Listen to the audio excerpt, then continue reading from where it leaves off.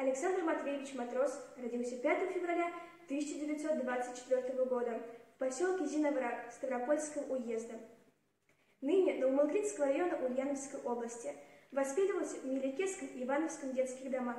В сентябре 1942 года был призван в армию и направлен в Краснохолмское стрелковое училище. Свой прогремевший на всю страну подвиг он совершил 27 февраля 1943 года. Стрелковому батальону был отдан приказ атаковать опорный пункт противника, который находился рядом с деревней Чернушки Псковской области.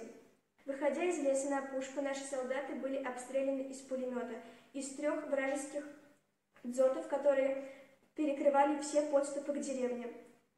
Дабы избежать огня, были сформированы штурмовые группы, состоящие из двух человек.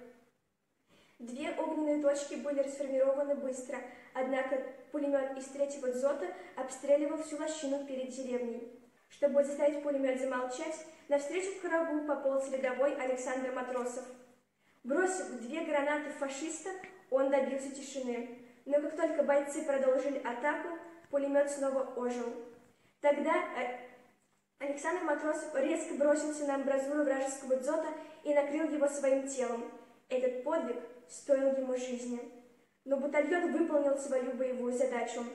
Указом Президиума Верховного Совета СССР от 19 июня 1943 года красноармейцу Александру Матвеевичу Матросову было посмертно присвоено звание Героя Советского Союза.